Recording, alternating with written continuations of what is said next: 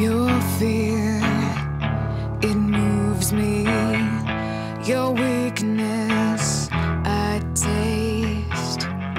I breathe.